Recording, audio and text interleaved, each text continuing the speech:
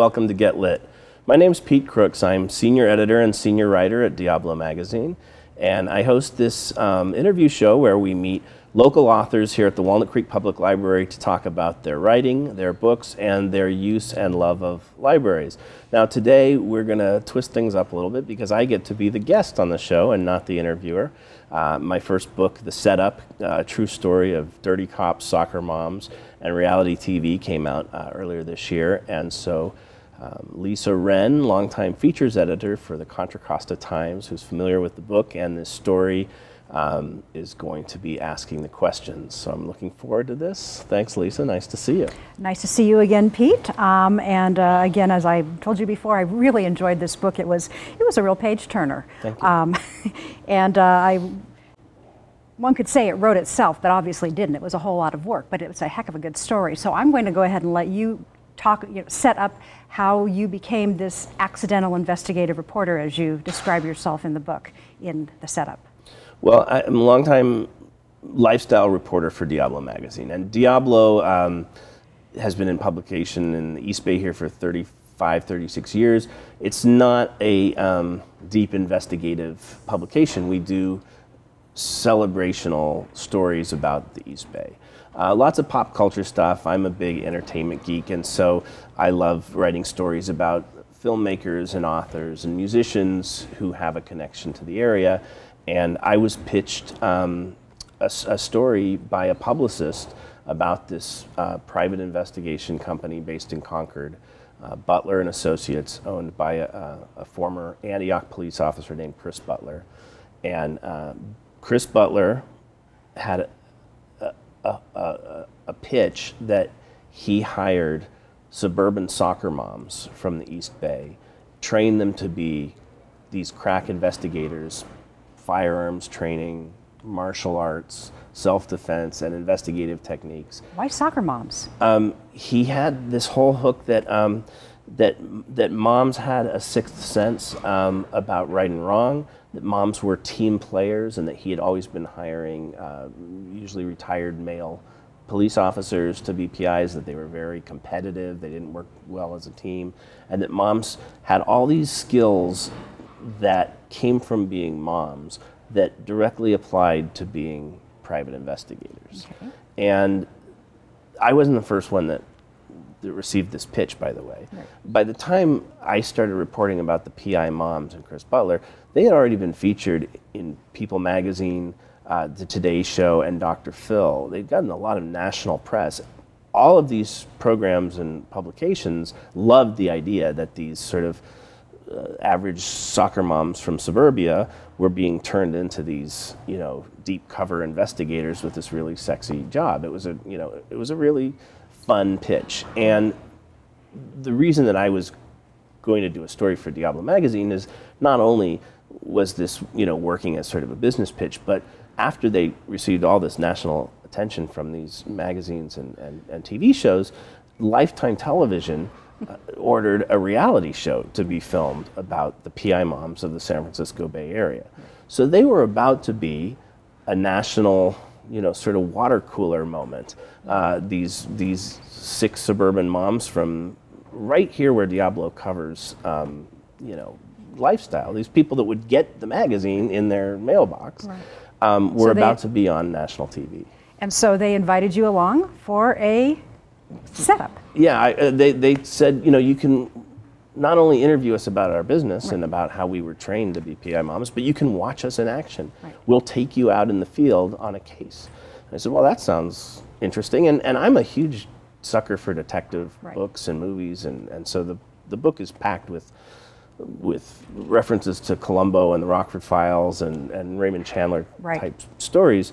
But I was also, um, as a journalist, kind of interested in how these moms who weren't, you know, um, celebrities. They were just people from our neighborhood, how their lives were going to change once they were on a national reality show. I'm actually not a fan of reality shows. I think they're kind of gross, and, and I don't. And are you? I don't watch them. Has your opinion changed at all since this, or is it? This is such a weird story that it's like I, am willing to give most of reality television um, a pass on on that because the people in this story are so just diabolical and despicable right. that I, I imagine probably a lot of people in reality TV are, are, are just as gross. But um, what happened was they took me out on this case. It was a, an, an infidelity investigation. This I, I, met the client, and she was very emotional, and she believed that her fiance uh, may be having an affair, and she had hired the PI moms to uh, to, to tail him. And um, I was going to ride along in this minivan with these two PI moms. Um, and I, I, felt really badly for her. Um, the agreement was I wouldn't identify her in the story, and um, but she was willing to let Diablo write about her experience. And you know, I was more interested in writing about how these suburban PI moms' lives were going to change after they became reality okay. show celebrities, and less about the sort of sad, you know, results of this investigation, right. which, uh, by all appearances, gave the impression that this guy was was cheating on his fiance. Well, yeah, and, and we're going along on the ride. That's where you get really good color for the story, and you get a sense of it, and, and you, you can create the narrative. Right. So, and they gave me quite a narrative. I, um, I sat in the van with these two PI moms, and we, we followed a guy from Lafayette to the gym in Moraga, and he went into the gym, and I thought, boy, we're going to sit in here for three hours while he works out. Well, he came out in five minutes, all dressed up to go out wine tasting for the day. We followed him out to Blackhawk, where he picked up a young woman, and then up to Napa, and we sort of tailed this guy around all day in Napa for up to 10 hours. It was, it was, it was all day on a Saturday. it was my day off, actually, that I was in the van with these PI moms. And it just became more and more bizarre and lurid. Like at one point, we sat at the same um, outdoor cafe table with the couple that we were following. And the PI, I said, I don't think we should be this close. And the PI mom said, they have no idea. You know, they're in their own world. So were you little know. red flags starting to come up at that point? There were red flags about the this bizarre professional procedure of the right. of the PI moms. But the idea that this was all a hoax, that I was being played for a dummy to to place a story in a in a local magazine, that didn't come up until much later. And that's what it turned out to be. This case that I was observing was a complete hoax. They hired actors for um, for the PI moms to chase. Chris Butler, the head, of, head investigator, um, hired a, uh, a friend of his to pretend to be a cheating husband. The woman who I saw crying and, and have a, a, a little meltdown about, you know, that she needed these PI moms to tell her what was really going on, she actually had been a client. Uh, she had actually read about the um, PI moms in the Contra Costa Times, and that's how she that's how she came to, to meet Chris Butler, and, and she really had hired Chris Butler to catch her fiance in uh, in a sticky situation, and and he did. Then she recreated that for my case in a total, you know, fraudulent case.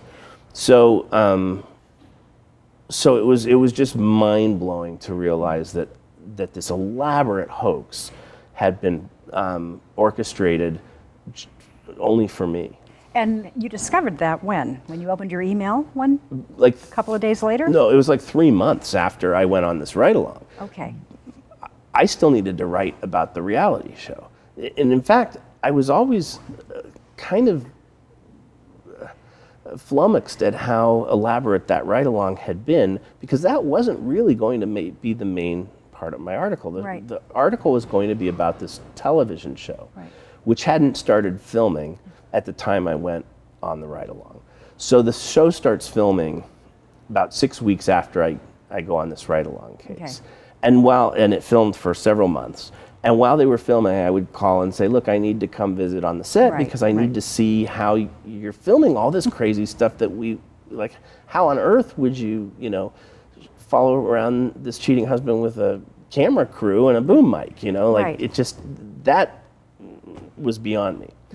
And um, the show that was filming for Lifetime was just immediately um, encumbered by production issues. And all of the egos that you see on The Real Housewives or all these shows were amplified tenfold in this little cast right. of characters filming the PI Moms show. And there was one particular character who was feeling shut out. One of the one of the participants in my ride along did not get to be a part of the PI Moms television show. And he was indeed a real actor. In fact, was an actor and and thought, look, you know, I've been setting up this journalist from Diablo magazine, and I've been taking part in these um, these really insidious scams that PI Chris Butler was running when they were actually running real cases. They were things like setting people up to be arrested for DUIs in Danville. Um, and now he didn't get to be on this TV show.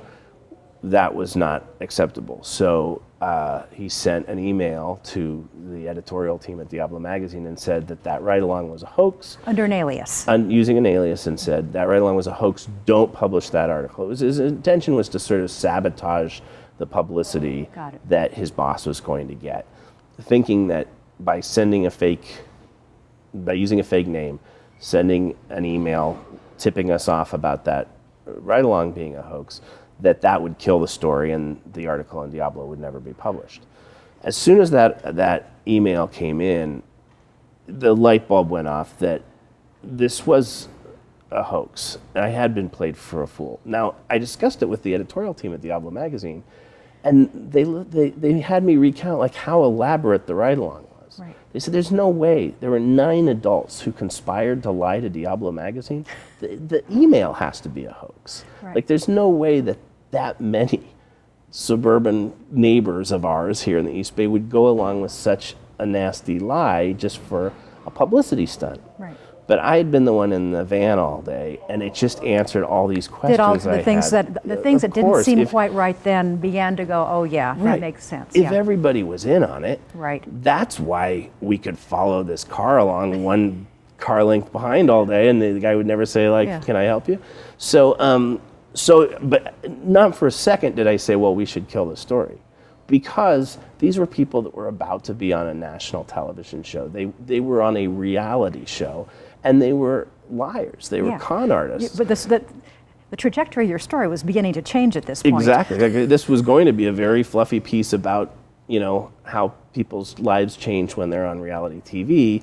But basically, these are nice people who, you know, we're going to talk about them at the water cooler on Tuesday after their after their show's on the air, and that maybe one of them's going to be on Dancing with the Stars if the show's a hit. You know, that was the trajectory. All of a sudden, it was like, well, look, if they lied to me, if they went all, if they all conspired to create this whole scam to get, you know, which I found really mean spirited. Like, Yeah. Diablo's a, a nice magazine that tries to celebrate people in the community and volunteers who are heroes of the community, you know, and here these people are just blatantly lying to us. It also asked, made me ask the question were they lying to Dr. Phil? Were they lying to People magazine? Were they lying to the Today Show? And in fact, yes, yes, and yes, they were. All the appearances that you saw with these PI moms, or almost all of them, And that all comes out as later in the story as you as this begins to unravel. so or come one, together. One big uh, theme of this of this book is look how far people are willing to go for this shot of 15 minutes of fame. Right. Most of us aren't interested in being on a reality TV show, or uh, I hope most of us aren't, you know. But obviously, a lot of people are, and you know, 20 years ago, you had to be a really skilled actor to, you know, be on a hit show, and you had to get that lucky break. Right. You know, but now it, it- you might just have to be the loudest housewife. You know? Right. And and that's kind of what this group of, of people were interested in doing, and they didn't even want, they weren't even real. They were just liars who were willing to lie to the national media, lie to the local media, lie to Diablo magazine, and expect us to write these favorable stories. Right. So, not for a second did I say, well, I'm just going to kill the story then. I wanted to write about these people who are about to be on Lifetime television. So let's talk a little bit about there, there with. Um, there was, of course, the setup and the PA moms, but there was also another dark side going on um, with, with drug sales um, and uh, even at one point some C4 explosives that Chris, Chris Butler, in particular, who is in jail, will be there for a while longer. He was, um, he, in addition to the things that he, he was doing with the PI moms, he was trading drugs on the side, and because he was this PI and former cop, he had he had people in this web, and he also used it as an extortion to a certain extent as well. But you came into this information as well, and this is when things got a little bit. You started losing sleep over this story. Right. So I was pretty stressed out that I had been lied to, and you know that how am I going to publish this article? Like, how am I Right. going to prove that this was a lie? Right. So I'm working on that, and this email informant, Ronald Rutherford, Right.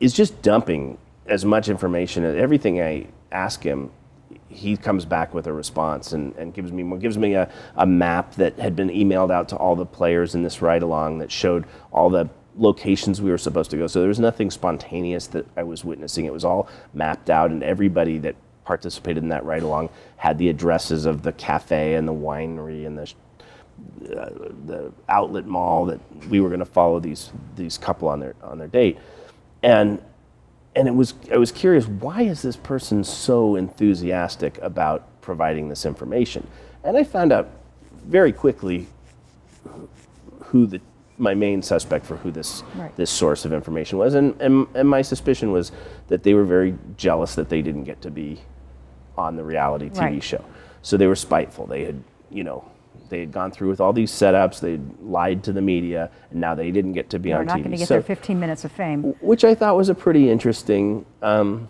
character trait. Right.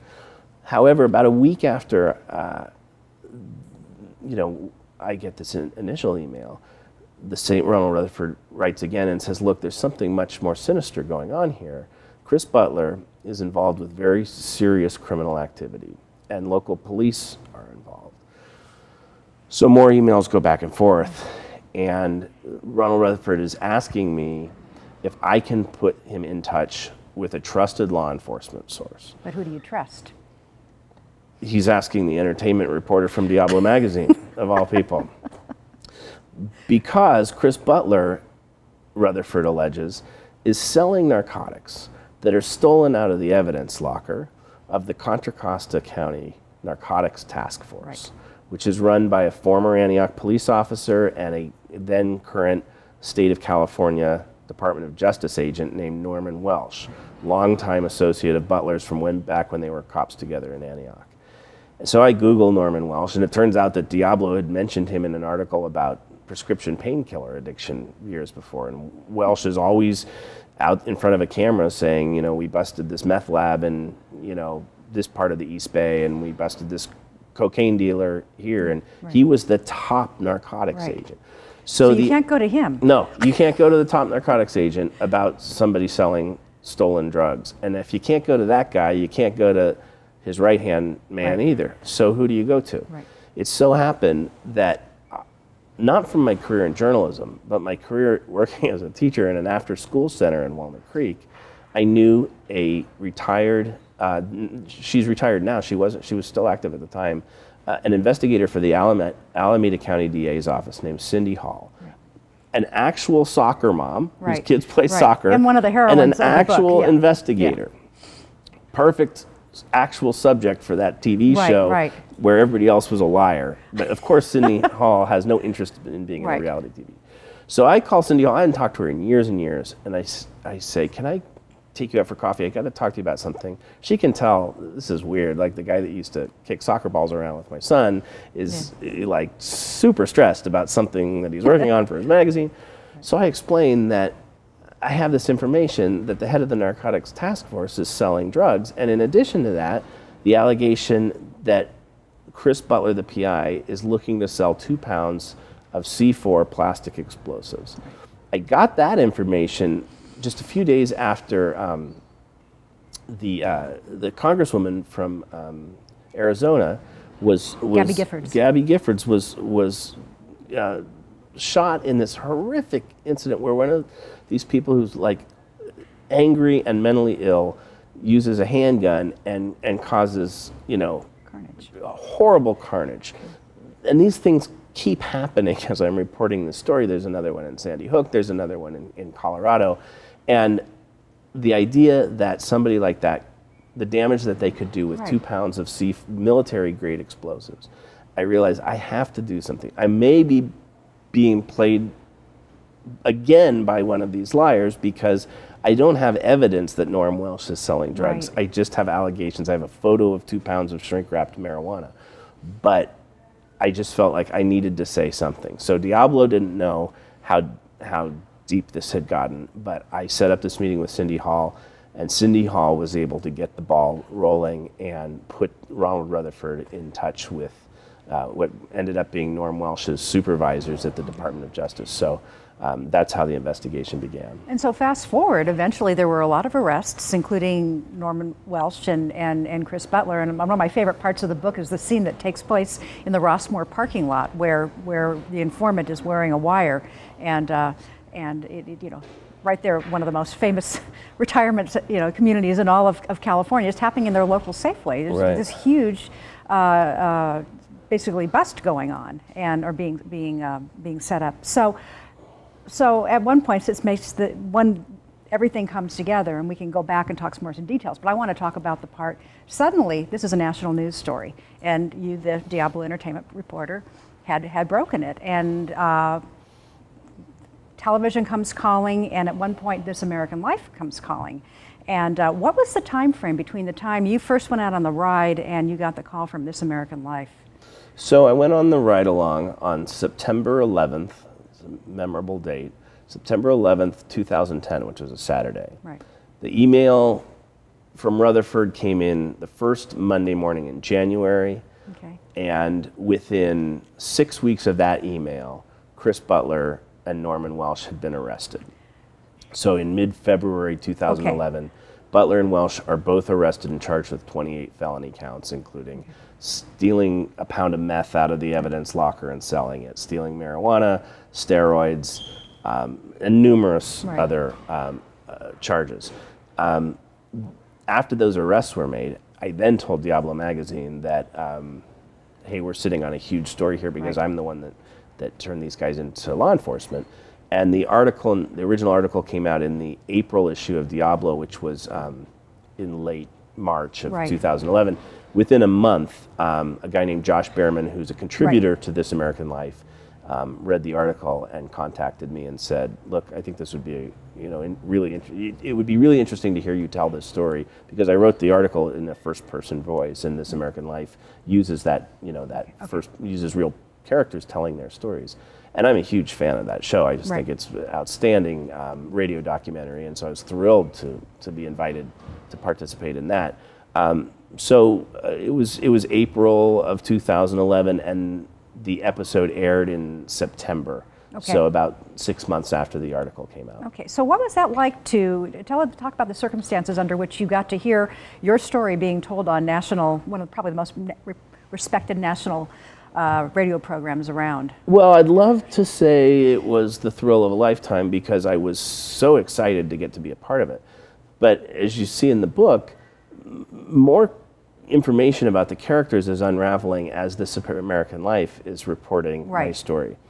Um, and, and, and Rutherford, who uh, I'm comfortable with just calling him Rutherford for the purposes of this uh, Okay. interview because it just is such a complicated story. Right, it's a very complicated story, but very well told. But thank you. But he he really wanted attention. So Right.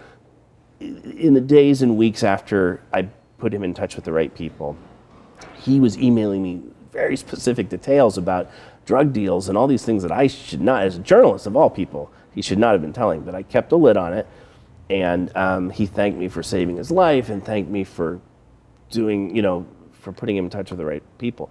When my article came out, and I started being asked to be interviewed for This American Life and local TV interviews and everything, really saw a 180 from this Right. guy. He did not like that I was getting attention. Right. And this was the sort of the same thing that the PI moms had been through, that they were getting attention and why not him? Right. So I started getting these, you know, sort of threatening emails from him like, you know, I'm going to expose you to the Chronicle and they're going to say that you're a liar. And I'm like, well, I'm not a liar. The article's accurate and but you deserve credit for what you did. You know, he at, at that point was a protected informant, Right. but lost that protection um, because the, the the DA's office said, look, he's giving interviews, giving quotes to the Times, he's giving quotes to the Chronicle. Right. He's not a protected informant if he's going to put his name out there. So this just this just ex- made the story a bigger story and much more tension around it. So it was it, probably very cool to hear it, but it, there was a lot of drama going around. There was a lot of it. drama about this attention, about Right. the you know the spotlight changed from Lifetime Television to This American Right. Life, and later to 48 Hours. And so you know I was trying to be as fair as I could to everybody. I said, Yeah. no longer an informant. If you want to talk to This American Life, I'll put you in touch. So this person went on the record with This American Life, but as this was happening, I was really r- pulling back the, the curtain on this character as well and realized that he had told me that he was a, a war veteran and that he had, was a former Right. police officer. And, you know, he had, his original stories had, been, had checked out about the drugs. I, I will just throw in here, and having read this, he it just it, it's like an onion. The, this, the man is a pathological liar, and it, it, to an extent that it's hard to it's hard to imagine someone could make up that much stuff about himself and be that much out there. We're, we're going to have to wrap this up fairly soon, so I, Okay. a couple things I do want to I want to get to before you go. One one is that. Uh, um, this story has also caught some some attention in Hollywood, and uh, you are uh, I know you probably can't talk about a lot of uh, a lot of details, but uh, there is some hope that at some point people will be able to see this story on the big screen. Well, This American Life has a division that develops uh, content for features and for um, for television series. And Josh Bearman, that that contributor, is very good at, at finding stories that that um, can be turned into feature films. And and had I sort of saw this as a movie the whole time. I didn't realize it at first. Yeah. I always thought, Yeah. let's just do This American Life. But um, uh, Josh uh, wrote the magazine article that turned into the film Argo, which won the Right. Academy Award for Best Picture. So, so Josh and This American Life, um, and I have uh, reached an agreement that, that they'd serve as producers. My story and my life rights would be included, and a really exciting uh, writer director has been attached. And sh- I've read drafts of a screenplay where Wow. Pete Crooks is a character. It's very, very surreal, um, with the idea of this being a feature film. So you are the accidental investigative reporter. The setup turned out to be as as difficult a few years as it was for you, or particularly those few months. It turned out to be a the, the story of your lifetime, really, to tell. Well, it was a big, uh, obviously, it was one of the biggest police corruption stories in recent Bay Exactly. Area history. Easily the biggest story Diablos ever had, as far as like you know a, a major expose, but also really serving the community. And and you know, unfortunately, I'm a big supporter of law enforcement. You know, that's a very very demanding job. And so I wanted in the book to give credit to Cindy Hall, Right. the Department of Justice agents that did such an outstanding job, and you know they put their lives on the line. And Well, you even had some sympathy for, for Norm Wielsch too, right? Yeah, yeah. I, wanted. to, he, I- was, he's a sympathetic character. I, I wanted to to understand these characters. I wanted to understand what in our society makes it so appealing to be on TV that they'd be willing to lie to everybody to you know to meet that end. And if you want to understand that better, read the book, The Setup. Thank you, Pete. Thank you, Lisa. This was fun. This was fun. Um, I'll let you Oh, I, wrap back it to up. me, right? Back this is. Get Lit. This is your where, show. Where am I? So, um, Lisa, this is really exciting. I really appreciate you coming over to ask My me pleasure. questions about my book. It was a lot of work to get that story um, into book form, and very, very uh, exciting and rewarding. I was, I know it's in the library system now, and Yes. I just looked it up, and all the copies are checked out and on hold. So that was very flattering. Um, my book is also available, obviously, in bookstores. Diablo Magazine is on the newsstand at all your local bookstores and, and supermarkets and at diablomag.com. Thank you for watching uh, Get Lit. I love to interview authors on this show and talk about their writing, their career, and their love of public libraries. And uh, the next episode you see, we'll, we'll be back to that format, but it was fun to get to be the author uh, in the author's chair this time. Thanks for watching Get Lit. I'm Pete Crooks.